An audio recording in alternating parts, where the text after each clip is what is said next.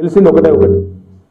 నేను చెప్పినట్టు అయితే జుమ్లా చేసి ప్రజల్ని మోసం చేయడం గారడీ చేయడం డ్రామా చేయడం లేదా హమ్లా చేసి మొత్తానికి ఏదో రకమైన దాడి చేసి ఏదో భయోత్పాతమైన వాతావరణాన్ని సృష్టించి ఏదో రకంగా డ్రామా చేసి దేశమంతా అవినీతి పరులు మేం మాత్రం సత్యహరిశ్చంద్రుని కజిన్ బ్రదర్సు బామ్మర్దులం అన్నట్టు పోజులు కొట్టి డ్రామా చేసి బయటపడదామనే ఒక చిల్లర ప్రయత్నం తప్ప ఇంకోటి కానే కాదు.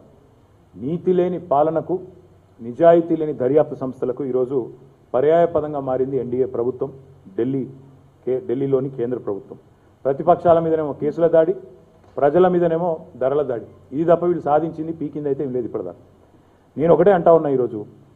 ఒకటే కేంద్ర ప్రభుత్వాన్ని ప్రధానమంత్రిని మోడీని ఒకటే అడుగుతా ఉన్నా. ఇవాళ గౌతమ్ అదానీ అనే వ్యక్తి ఎవరి బినామీ? ఇది నేను అడగడం కాదు. దేశంలోని చిన్న పిల్లగాన్ని నిన్నగాక మొన్న లాగేసుకున్న పిల్లగాన్ని అడిగినా చెప్తాడు. గౌతమ్ అదాని ఎవరి బినామీ?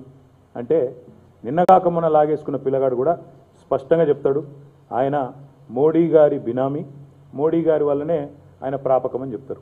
నేను ఇంకొక మాట కూడా అడుగుతా ఉన్నా ఈ సందర్భంగా.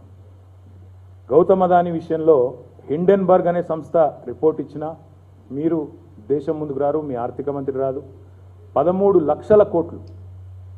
పదమూడు లక్షల కోట్ల డబ్బులు ఆవిరైనా ఎల్ఐసి డబ్బులు ఎస్బీఐ డబ్బులు ఎల్ఐసి డబ్బులు అంటే ఎవలై? ఎస్బీఐ డబ్బులు అంటే ఎవలై? దేశ ప్రజల పైసలు కావా?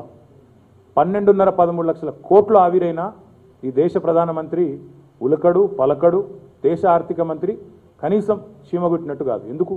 ఎందుకు అంటే వాళ్ళకు వాళ్ళ బినామీ గారిని కాపాడుకోవాల్సిన బాధ్యత వారి మీద ఉంది. ఇది నా కవిత్వం కాదు బ్రదర్ ఫైనాన్స్ మినిస్ట్రీ నీతి ఆయోగ్ ఈ రెండు కూడా కలిపి దేవ్ రెడ్ ఫ్లాగ్ ఏమని? గౌతమ్ అదానీకి ఆరు ఎయిర్పోర్ట్లు ఇవ్వడము తప్పు. ఇప్పటిదాకా ఉన్న నిబంధనలు కేవలం ఒక సంస్థ రెండు ఎయిర్పోర్ట్లు మాత్రమే పెట్టాలని ఉన్నది. ఆరు ఎయిర్పోర్ట్లు ఇవ్వడం తప్పు అని చెప్పి ఫైనాన్స్ మినిస్ట్రీ నీతి ఆయోగ్ రెండు ఇచ్చిన రెడ్ ఫ్లాగ్ ఆగిందా?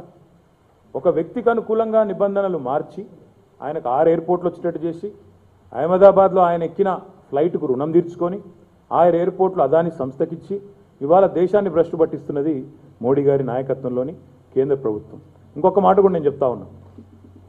ఈరోజు అదే అదాని మీద ఏ కేసు ఉండదు. ఆయన పోర్ట్ ముంద్రా పోర్ట్ గుజరాత్లో మూడు వేల కోట్ల హెరాయిన్ ఒకటి రెండు కాదు మూడు వేల కోట్ల హెరాయిన్ దొరికితే మూడు వేల కోట్ల హెరాయిన్ అంటే ఎంత?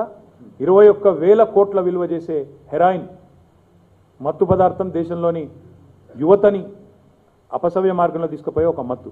కేసు అయిందా? కనీసం గౌతమ దానిని విచారించే దమ్ముందా ఈ దేశంలో దర్యాప్తు సంస్థలకి? అంత సీనుందా? అందుకే అంటున్నా ఎవరి బినామీ? ప్రధాని అదాని బినామీ కాకపోతే ఎందుకు? ముంద్రా ఎయిర్పోర్ట్లో ఇరవై ఒక్క వేల కోట్ల హెరాయిన్ దొరికినా కూడా చర్యలు ఎందుకు లేవు? ఇది ఒకటేసారి దొరకలే ఇక ఇంకోసారి దొరికింది. మూడు వందల కోట్ల కొకేన్ దొరికింది. అదే పోర్ట్లో ముందర. చర్య ఉందా? లేదు.